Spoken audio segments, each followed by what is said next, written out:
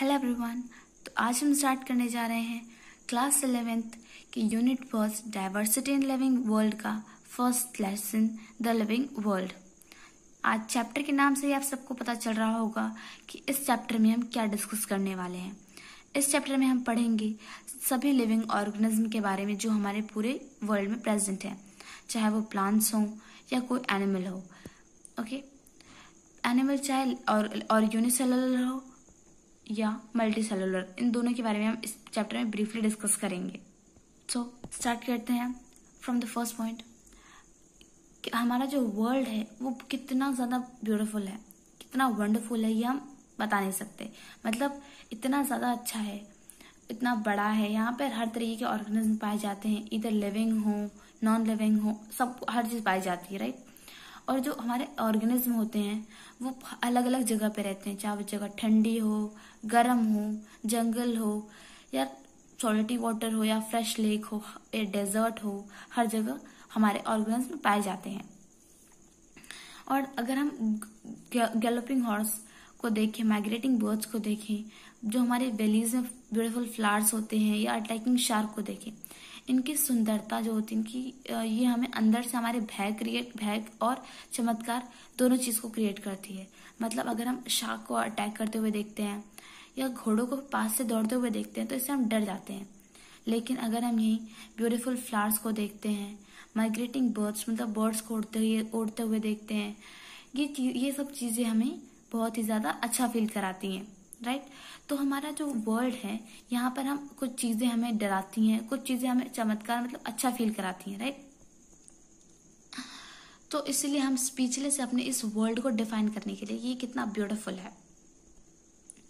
और देखिए next point population के मेंबर्स के बीच में जो कॉन्फ्लिक्ट है मतलब जो प्रॉब्लम्स हैं, वो और एक ही कम्युनिटी के लोगों के बीच में जो सहयोग मतलब जो एक दूसरे के बीच कोऑर्डिनेशन है, वो ये सब हम देखते हैं, जो लिविंग ऑर्गेनिज्म होते हैं, उनके बीच में प्रॉब्लम्स भी होती हैं। चाहे वो किसी भी चीज़ को लेकर हो, और एक सेम कम्युनिटी जो होती है, उनके बीच में सहयोग मतलब हेल्प जैसे कि हम सेल को ले लेते हैं। सेल जो होते हैं, उनके बीच में ट्रैफ़िक मतलब बहुत बहुत ही ज़्यादा उनको बहुत वर्क करना होता है। मतलब सेल के अंदर बहुत सारी एक्टिविटीज़ होती हैं, हमारी जो डेली वाइटल एक्टिविटीज़ होती हैं सेल के अंदर ही तो परफॉर्म होती हैं।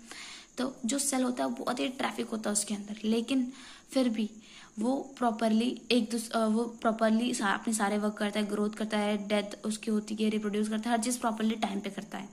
सो so, इससे हमें ये पता चलता है कि वास्तव में लाइफ जीवन मतलब लाइफ क्या है। अगर सेल अपना रिप्रोड्यूस नहीं करेगा डेड नहीं होगी उसकी लाइफ उसकी ख़त्म नहीं होगी तो हमारी बॉडी में कितनी सारे डेड सेल्स कलेक्ट हो जाएँगे तो जो न्यू सेल्स फॉर्म होंगे उनके लिए स्पेस नहीं होगा। इससे हमारा जो जो बॉडी है हमारा जो पूरी लाइफ है वो मतलब कि पूरी हर चीज़ स्ट्रक्चर खराब हो जाएगा हमारा। सो so, तो हम यहाँ पे देख रहे हैं कि हमारे सेल्स के बीच में कितने कॉन्फ्लेक्शंस हैं और जो सेल्स होती हैं वो एक दूसरे की हेल्प करती हैं न्यू सेल फॉर्म करने में। हमारी बॉडी की सारी एक्टिविटी सही यहाँ पे हमने पढ़ा था सहयोग करते हैं एक दूसरे के बीच में। सो so, उसी तरीके से जो सेल होती है वो अपने अंदर जो एक्टिविटी जो परफॉर्मेंस करती हैं उसके थ्रू हमारी बॉडी में सारी एक्टिविटीज़ हो पाती हैं प्रॉपरली सो हमें इससे, हमारी जो लाइफ है, उसके बारे में पता चलती कि व्हाट इज़ लाइफ सो अब हम हमारे इन सबको पढ़ के हमें ये हमारा फ़र्स्ट क्वेश्चन क्या होता है? टेक्निकली हमारे क्वेश्चन ये है कि जो लिविंग तथा नॉन लिविंग ये क्या होता है? इसका आंसर हम पहले चैप्टर में ढूंढेंगे नेक्स्ट फिलोसफिकली ये क्वेश्चन होता है, जो लाइफ के पर्पज हैं, हम उसको जानने का प्रयास करेंगे. लेकिन एज अ साइंस स्टूडेंट हम फिलोसफी पे नहीं जा सकते। सो हमें हमारा मेन हमारा मेन फोकस कहाँ होना चाहिए? कि व्हाट इज़ लिविंग लिविंग क्या लिविंग व्हाट इज़ लिविंग इस बारे में हम पढ़ेंगे और जानने की कोशिश करेंगे कि है क्या। सो so, हमारा क्वेश्चन क्या है? व्हाट इज़ लिविंग तो हमारा इसका फ़र्स्ट पॉइंट है लाइफ को डिफाइन करने के लिए हम ऑर्गेनिज्म के डिस्टिंग कैरेक्टर्स को देखते हैं। डिस्टिंग कैरेक्टर मतलब हम उनके अलग अलग कैरेक्टर्स को देखते हैं। सो so, उनके जो मेन कैरेक्टर्स होते हैं वो है वो क्या है? Growth reproduction cellular organization consciousness consciousness मतलब ability to sense towards environment मतलब उनकी कितनी उनकी क्या एबिलिटी है इन्वायरमेंट की तरफ़ रिस्पॉन्स करने की। और सेल्फ रेप्लिकेटिंग कैपेबिलिटी और सेल्फ रेगुलेशन कैपेबिलिटी जो होती है ये उनके मेन कैरेक्टर्स होते हैं। तो मैं दोबारा रिपीट करूँ आप लोग नोट कर लीजिए। Growth reproduction cellular organization consciousness self replicating and self regulation capability these are the main characteristics of the living organism right and जो उनके अलग कैरेक्टरिस्टिक्स होते हैं, जैसे कि मेटाबोलिज हो गया uh, यहाँ पे सेल्फ रेप्लीकेट है, और सेल्फ ऑर्गेनाइज करना, और उनकी जो एजिंग है, उनकी डेथ है सेल डिविजन है शेप साइजिंग साइजिंग है उनके जो बॉडी के अलग प्रोसेसेस होते हैं।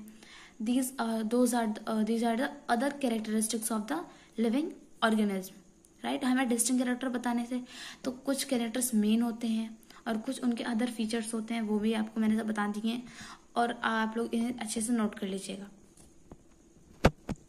अब हम क्या डिस्कस अब हम थोड़ा यहाँ पर हम अब, अब हम इन सभी को समझने की कोशिश करेंगे। मतलब कि जो भी हम अभी हमने पढ़े उनके डिस्टिंग कैरेक्टर अब हम एक एक करके उन सब के बारे में हम ब्रीफली डिस्कस करेंगे।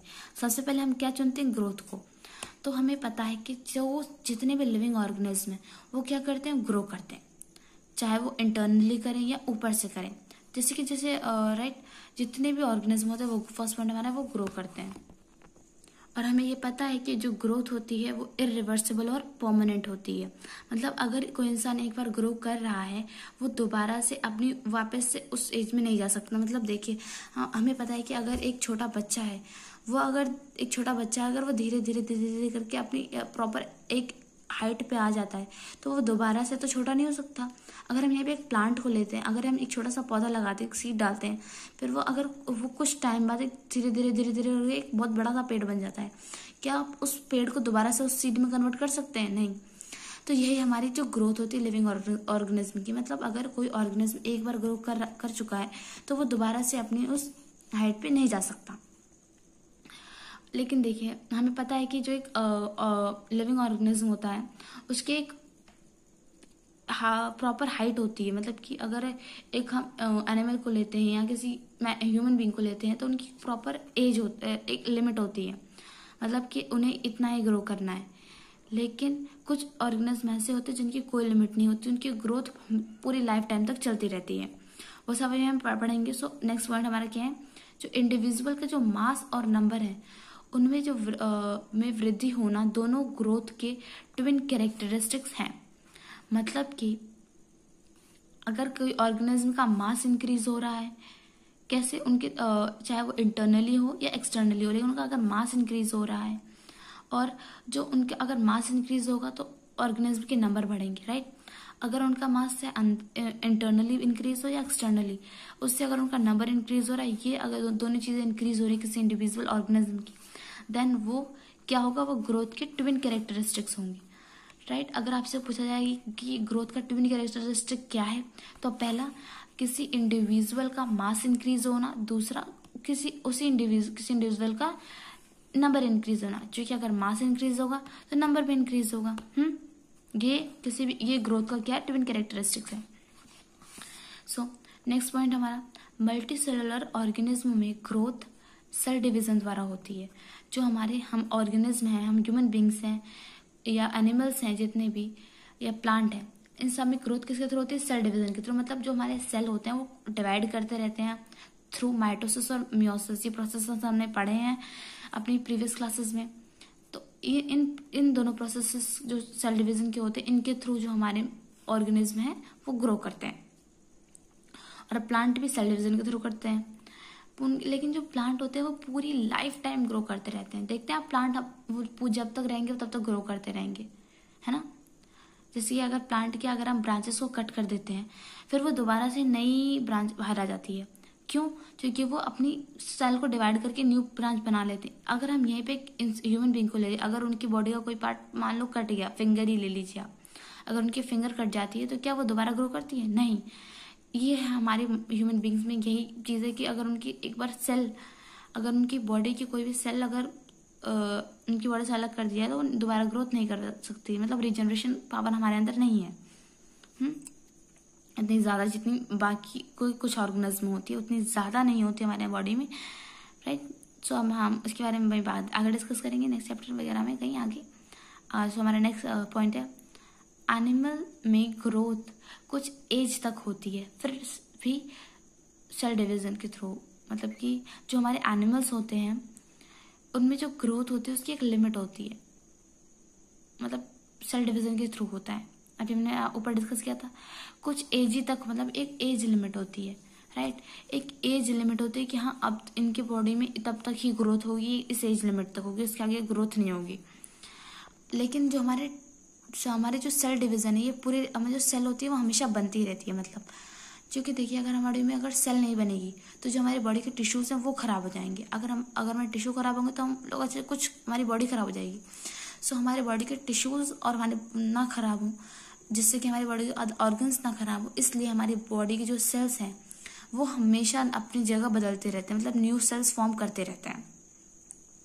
तो जो सेल डिवीज़न है, पूरी लाइफ टाइम तक वर्क करता है, लेकिन हमारी जो ग्रोथ है, वो उसकी एक लिमिट होती है। मतलब इस एज तक ही हमारी ग्रोथ होगी, हमारी हाइट की या किसी भी चीज़ की, उसकी एक लिमिट होती है। नेक्स्ट पॉइंट यूनिसेलुलर ऑर्गेनिज्म भी सेल डिवीज़न द्वारा ग्रोथ करते हैं।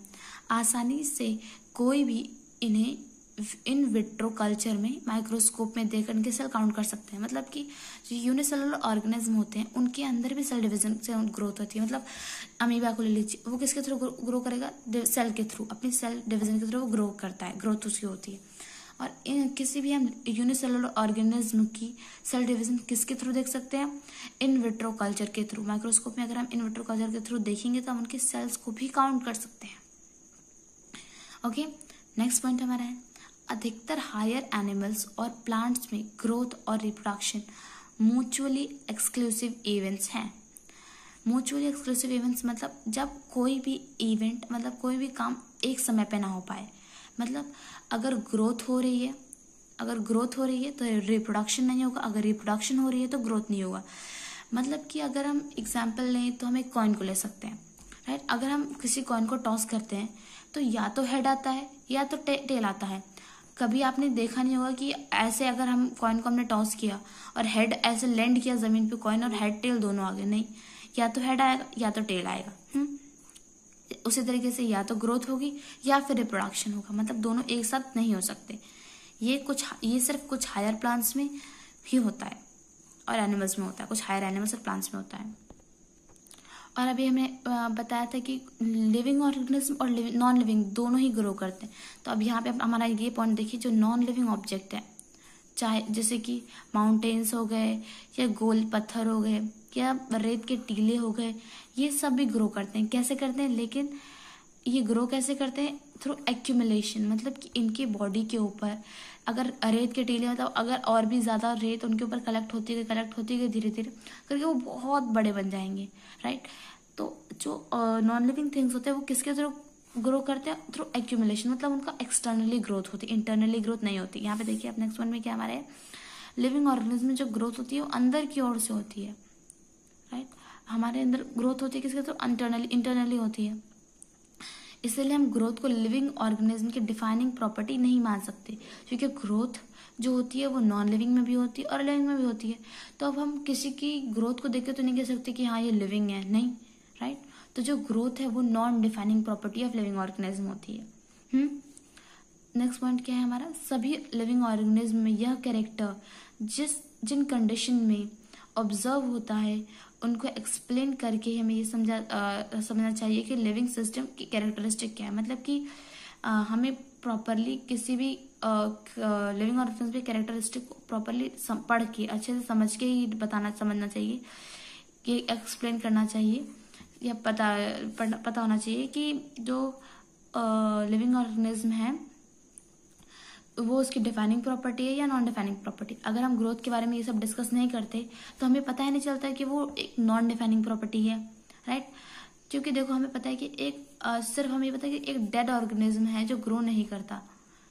एक डेड ऑर्गेनिज्म को छोड़कर बाकी सब लोग ग्रो करते हैं चाहे वो लिविंग हो या नॉन लिविंग हो। माउंटेन्स नॉन लिविंग फिर भी वो ग्रो करते हैं किसके थ्रू एक्यूमुलेशन के थ्रू लेकिन लिविंग ऑर्गेनिज्म के इंटरनली ग्रो करते हैं कैसे? अंदर से ग्रो करते हैं। हम्म?